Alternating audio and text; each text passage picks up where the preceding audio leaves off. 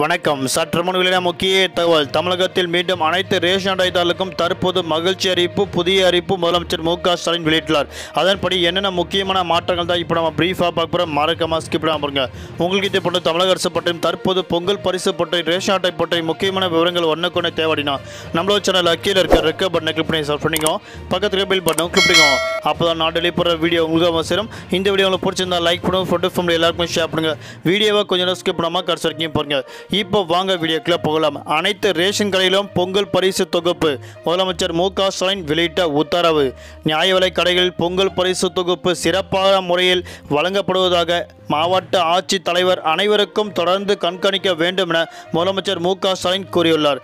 இது குறித்து முதலமைச்சர் மு க ஸ்டாலின் வெளியிட்டுள்ள செய்திக்குறிப்பில் கொர்னோ பெருந்தொற்றிலும் மழை வெள்ளத்திலும் பாதிக்கப்பட்ட தமிழ்நாடு மக்கள் அனைவரும் தமிழர் திருநாளாம் பொங்கல் பண்டிகை அனைவரும் கொண்டாடப்படும் வகையில் இருபத்தொரு வகையான அடங்கிய பொருட்கள் வழங்கப்படும் என தற்போது புதிய அறிவிப்பு ஒன்று வெளியிட்டுள்ளார். அதன்படி இரண்டு புள்ளி ஒன்று ஐந்து கோடி அரிசி குடும்ப அட்டைதாரர்களுக்கு நியாய விலைக் கடைகள் நமது அரசுக்கு பெற நிதி நெருக்கடி நிலைமை வரும் சூழலிலும் மக்கள் நலன் கருத்தில் கொண்டு ஆயிரத்தி இருநூத்தி தொண்ணூத்தேழு கோடி ரூபாய் செலவில் இத்தொகுப்பினை தற்போது வழங்கப்பட உள்ளது. இந்த பொங்கல் பரிசு தொகுப்புகள் வழங்கப்படுவதை நானே நேரடியாக சென்று நியாயவிலைக் கடைகளில் ஆய்வு செய்வேன் என முதலமைச்சர் மு க ஸ்டாலின் கூறியுள்ளார். மக்களிடையே பெரும் வரவேற்பை பெற்றுள்ள இந்த திட்டத்தை பற்றி சிலர் தவறாக விஷயமாக தற்போது கருதுகின்றனர். இதன் காரணமாக இந்த பணிகள் முறையாக நடைபெற்று வருவதையும் தாமதமாக பொருட்கள் எவ்வித புகார்களையும் தடயமின்றி மக்களுக்கு கொடுக்க வேண்டும் என முதலமைச்சர் மு க ஸ்டாலின் நேரில் சென்று ஆய்வுகள் மேலுக்காட்பட்டு வருகின்றார்.